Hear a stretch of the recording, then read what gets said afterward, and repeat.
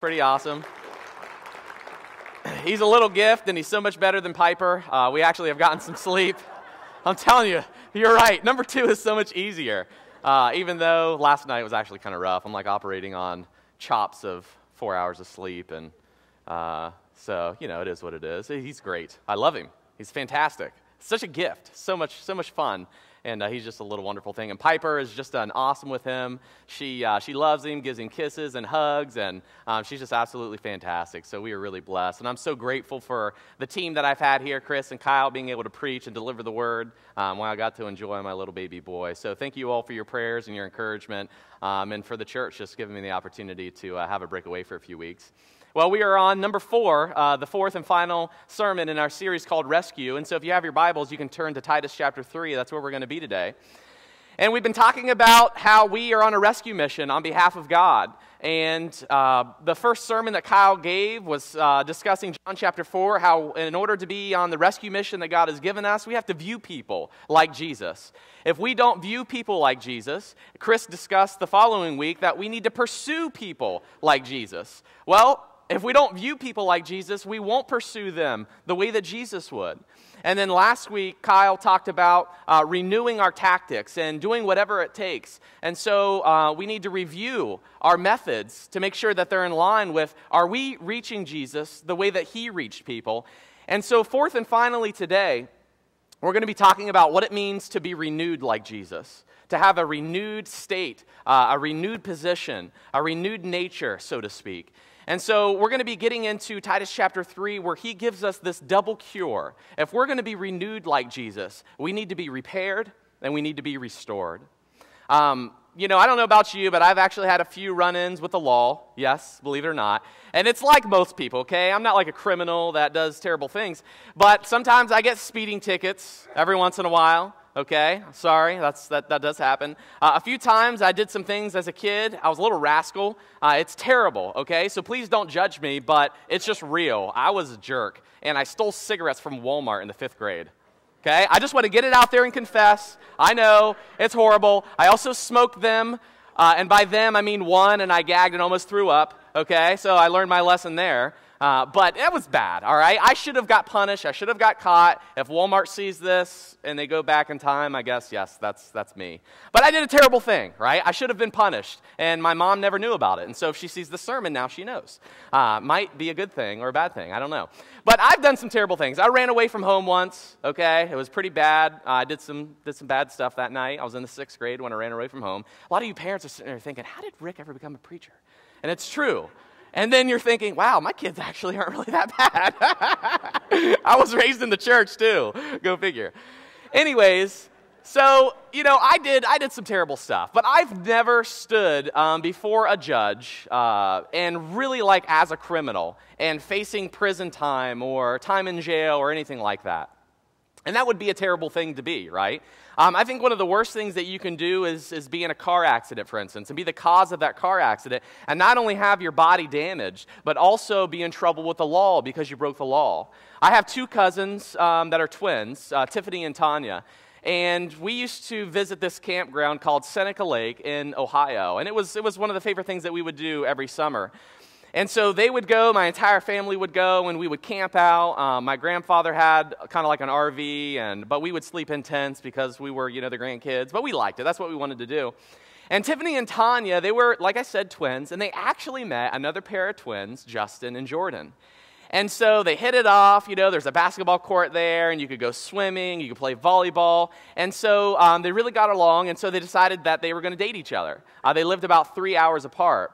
And they had dated each other probably for about a year when really tragedy uh, struck. They were driving in an SUV. Uh, Justin and Jordan were sitting up front. Tiffany and Tanya were in the middle. And then they had two other friends, which were uh, in the back seat. And we got a phone call early in the morning that there had been an accident.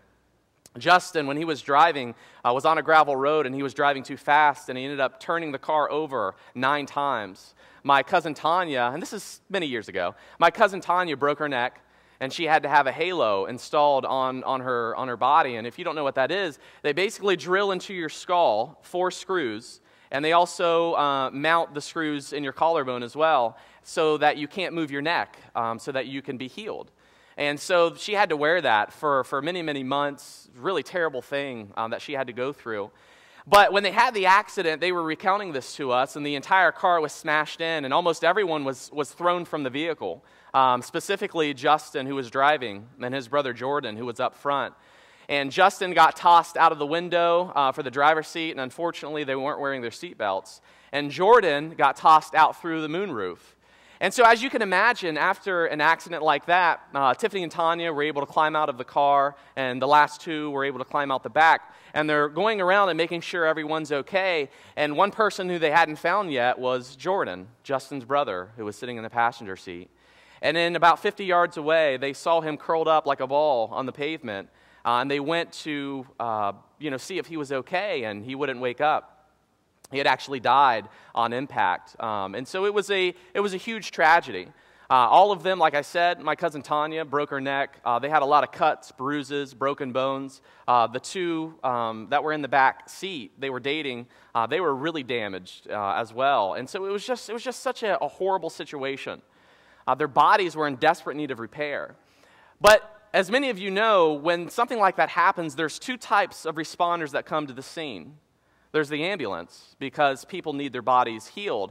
But then there's also the police officers because they need to see if the law was broken. And that's the same thing for us. All of us have been in this accident that we call sin. We have broken spirits, broken souls, but we also have broken God's law.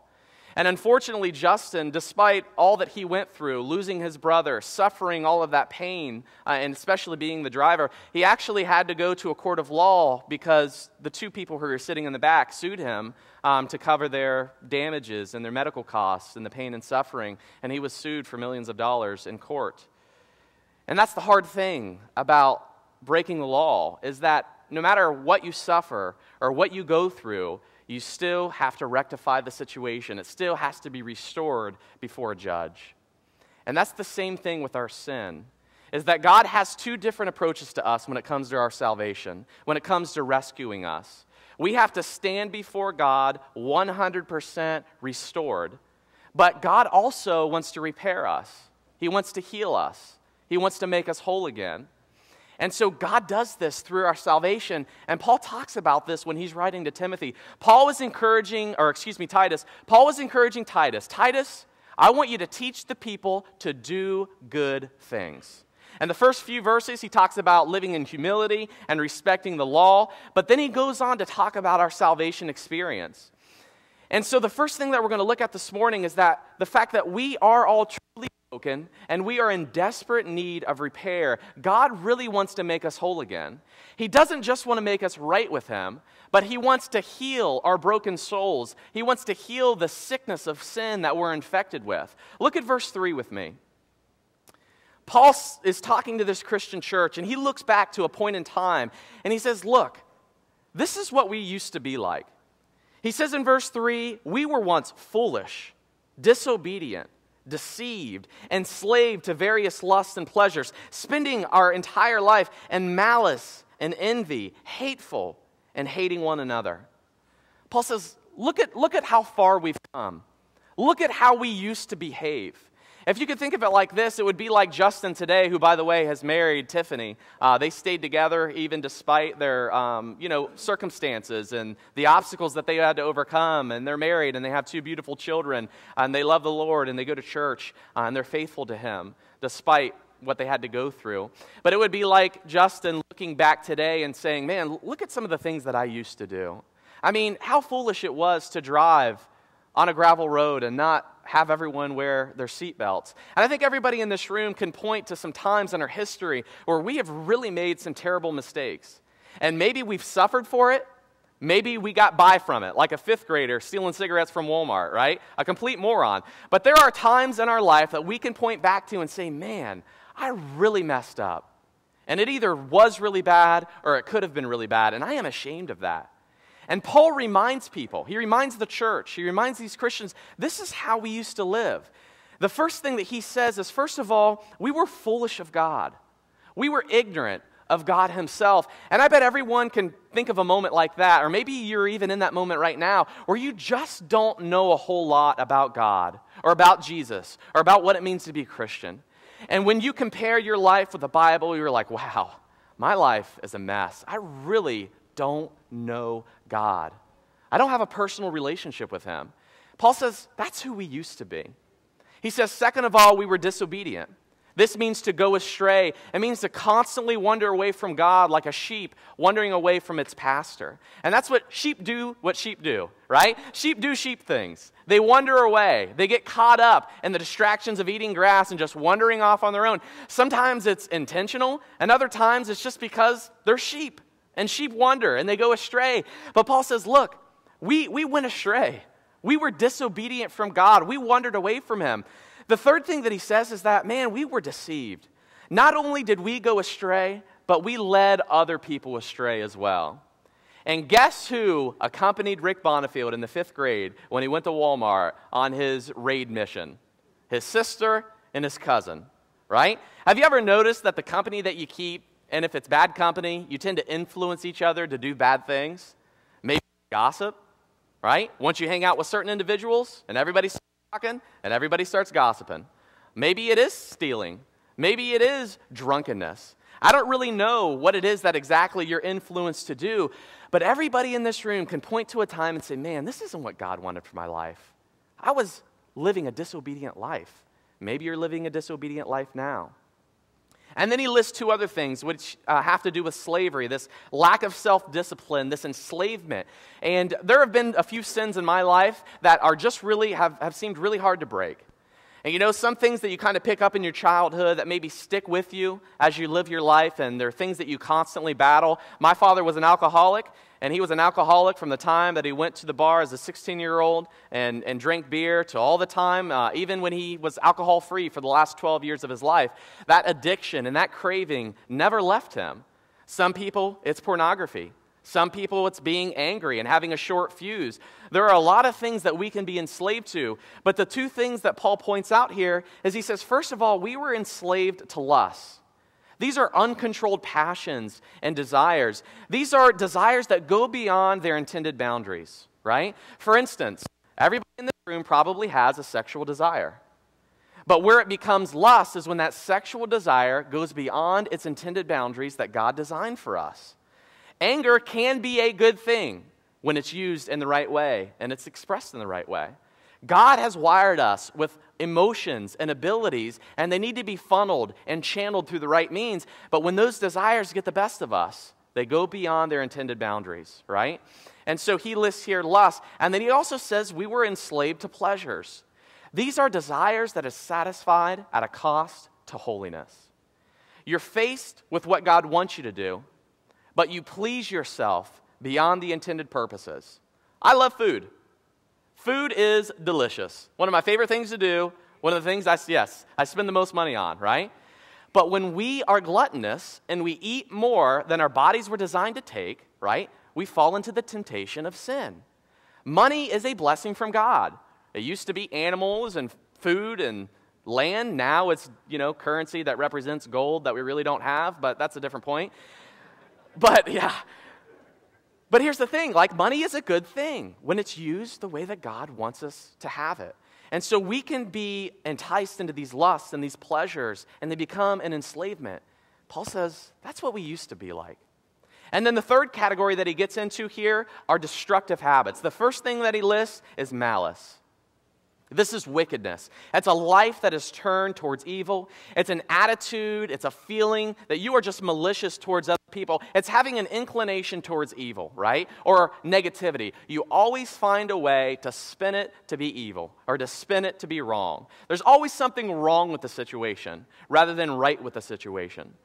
And so it carries this idea of having a desire to injure and repay evil for evil. It's a wickedness, in other words, that isn't ashamed.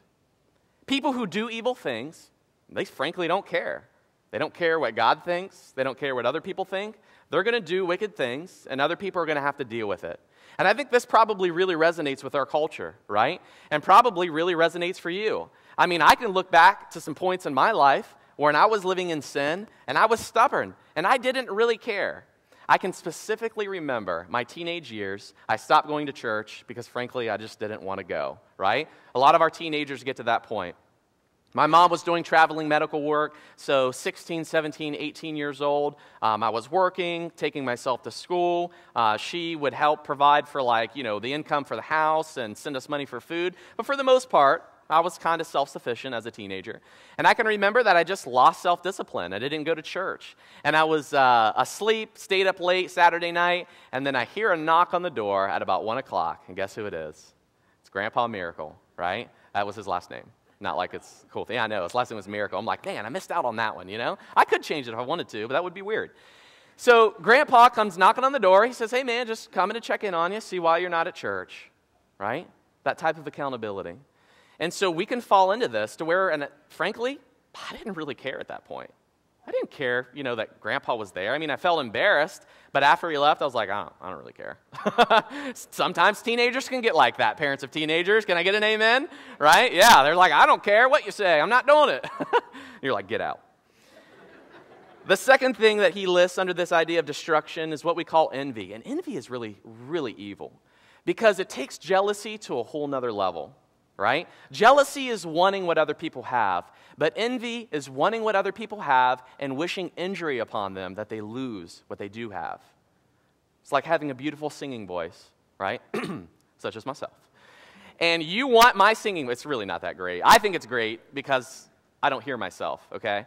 But it's like me having a beautiful singing voice and you want Rick's singing voice, and then you hope I get an injury and I can't sing anymore. Isn't that sick? Like, that's really destructive.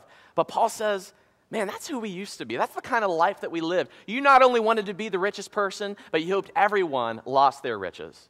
You not only wanted to succeed at your job, but you hoped everyone failed so that you could shine brighter.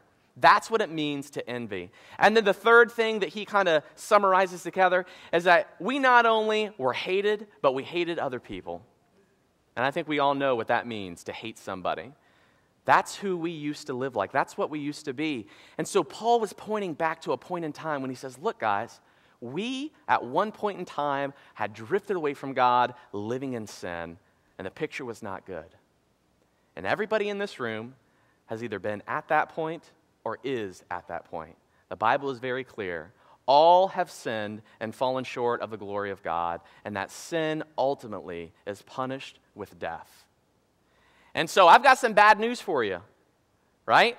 God is going to hold us accountable in a court of law called the heavenly court for our sins. And our sin not only puts it as odd with God, but it also destroys the very soul and the very nature that God designed for us to have. And what happens when you get sick and you don't find a cure? You ultimately get sicker, which leads ultimately to death. And so, if we don't find a way to reverse this curse, if we don't find a way to be restored back in God's favor, we are destined with eternal separation from God. I mean, we need to be rescued. And thankfully, God sent His Son on a rescue mission. And God has sent His Christians, us, on a rescue mission to heal, repair, and restore the people in this world. Look at what Titus goes on to describe here, or Paul describing to Titus. He says in verse 4 but, man, it's a good but. But when the kindness of our God, our Savior, and his love for mankind appeared, he saved us, not on the basis of deeds which we have done in righteousness, but according to his mercy, by the washing of regeneration and renewing of the Holy Spirit, whom he poured out on us richly through Jesus Christ our Savior, so that being justified by his grace, we would be made heirs according to the hope of eternal life. God saw us living in sin, and He decided to take action out of kindness, out of love, and out of mercy. And I am so thankful that He did. You know how thankful I am when first responders show up to the scene to help, repair, and restore and protect you? I've told many of you about this uh, before, and some of you haven't been here when I did tell it. Man, I felt sick to my stomach when Angel was clipping Piper's fingernails and I said, Here, honey, let me do it. She says, No, no, I'm going to do it because she really likes to pay, you know, close attention to detail. And I say, Come on, man, I'm dad. I can do this.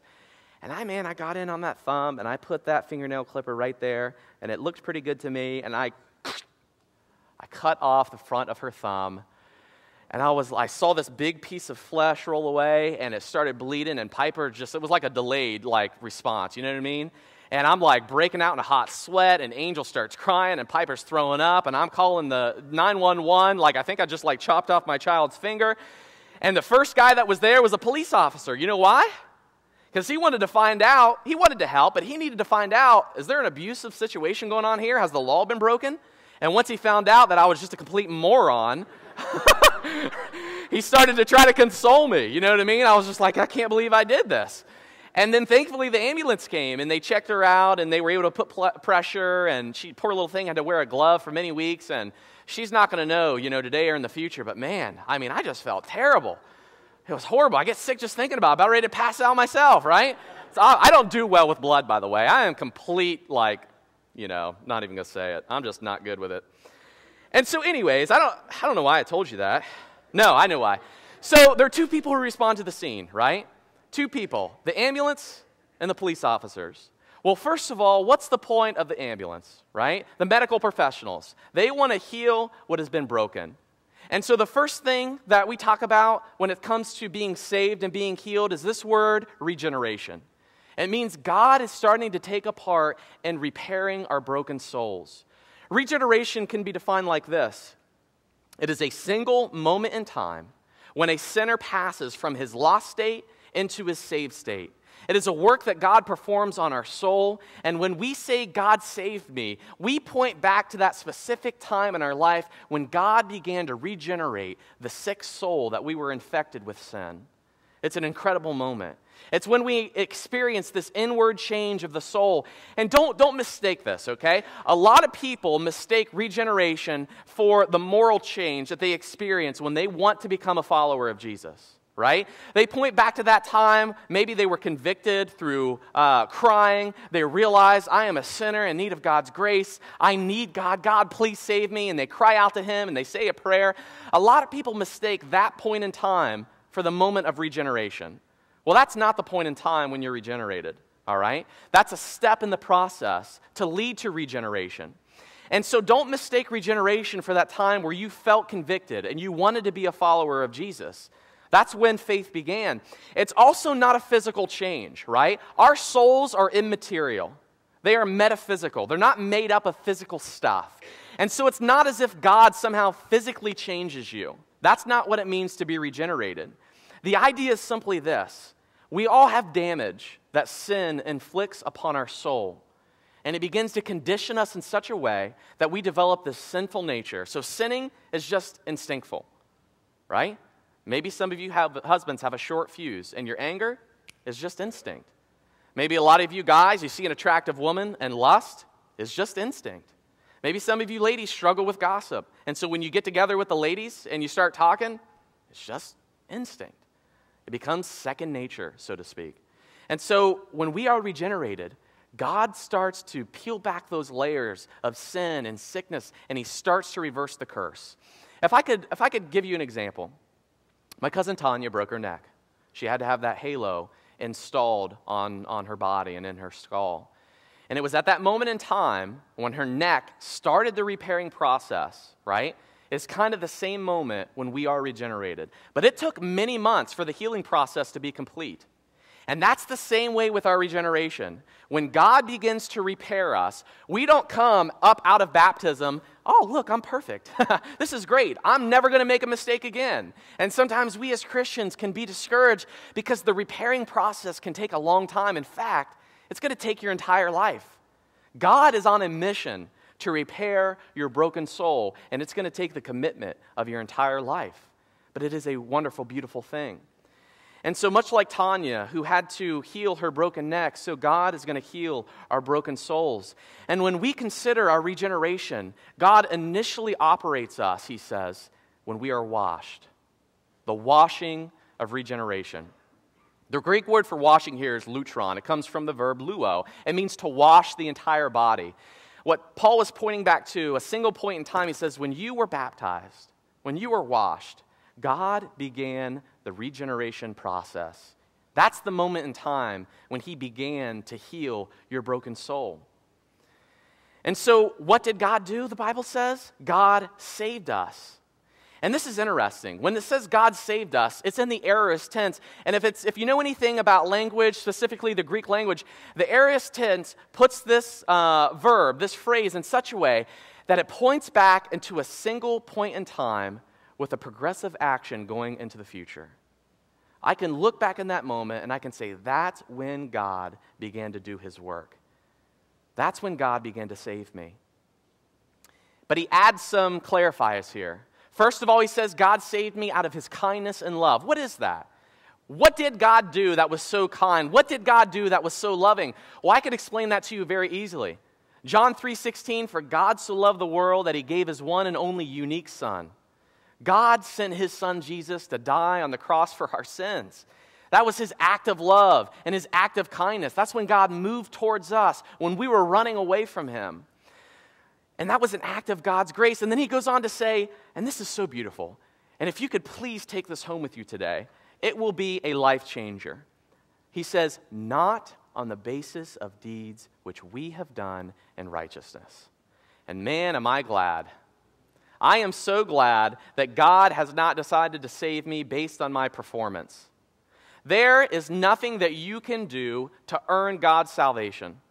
There is nothing that you can do to merit God's salvation or to gain God's salvation. The only thing that you can do is accept it.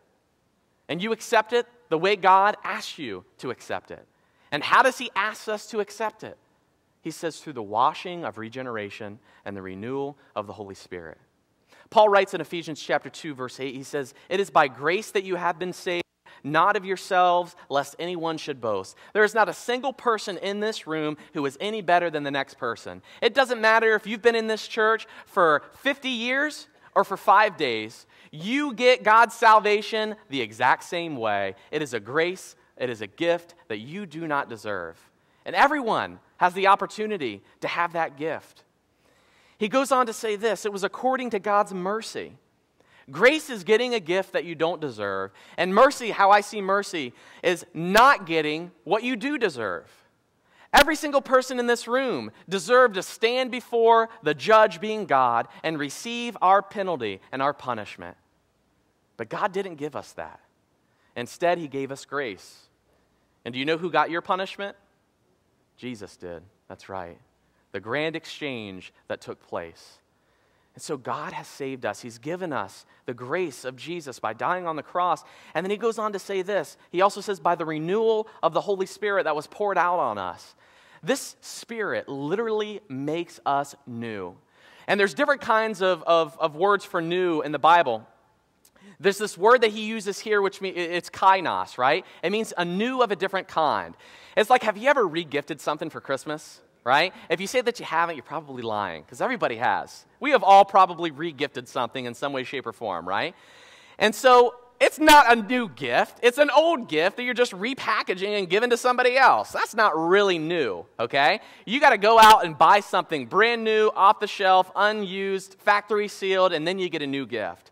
That's what the Spirit does in our own life. He doesn't give us a repackaged old us. He gives us something new of a different kind. And that's a wonderful, beautiful thing. The Spirit really, truly makes us new. And so we have to ask ourselves this question, all right? We know what God did. He saved us out of His kindness, His love, His mercy by sending Jesus to die on the cross for our sins. But the question comes this morning when did God do it? Now, like I said, a lot of people mistake their regeneration from the time they have an emotional experience to where they weep, they cry, they feel like they want to follow Jesus. But that's not what Titus says, and that's not what the rest of the Bible describes as the time or the occasion of salvation. Very crystal clear. We are saved by grace through the channel of faith and not by works, lest anyone can boast, okay? But there is a time when God says, I view that person as a saved individual. Just like a point in time when a doctor says, I view this person as a healed individual. You can go. You don't have to take medicine anymore. Your cancer's gone. Your neck is healed. You are restored. And so he says it's by the washing of regeneration. And like I said, this refers to our baptism. Baptism is the time of salvation, not the means of our salvation. And when you read the Bible, baptism is never placed in the category of works. Just because it is something that you do, right? Technically, it's something that's being done to you, does not